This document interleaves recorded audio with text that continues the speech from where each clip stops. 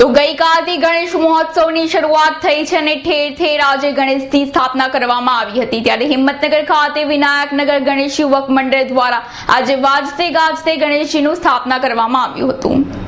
આજથી ગણેશ મહોત્સવની શરૂઆત થઈ છે અને ઠેર ઠેર આજે ગણેશની સ્થાપના કરવામાં આવી હતી. ત્યારે હિંમતનગર ખાતે વિનાયકનગર ગણેશ યુવક મંડળ દ્વારા આજે વાજતે ગાજતે ગણેશનું સ્થાપન કરવામાં આવ્યું હતું અને એ પણ સ્વચ્છતાના સંદેશા સાથે. તો હાલમાં સ્વાઇન ફ્લૂનો રોગ વકરી રહ્યો છે અને તેના માટે દર બે દિવસ ગણેશની મૂર્તિ આગળ જ ઉકાળા વિતરણ પણ આ યુવક મંડળ દ્વારા કરવામાં આવશે. જેનાથી સ્વાઇન ફ્લૂને ટાળી શકાય અને શહેરમાં સ્વચ્છતા રહે તેવા ઉદ્દેશ્યથી ગણેશજીનું સ્થાપના કરાયું હતું. એકવીસ વર્ષથી શ્રી ગણેશ યોગ મિત્ર મંડળ વિનાયક નગર અહીંયા ગણપતિ મહોત્સવ કરે છે. સ્વચ્છતા અભિયાનનો પણ અમે સાથે સાથે સંદેશો લઈને લોકોને જાગૃત કરશું. સ્વાઇન ફ્લૂનો જે આ રોગ કાયો છે, એને બાબતે અમે બે બે દિવસથી ઉકાળા પણ અહીંયા પાઈશું અને લોકોને જાગૃત કરશું. દસ દિવસ સુધી રાસ ગરબાનો ધામધૂમથી આયોજન છે.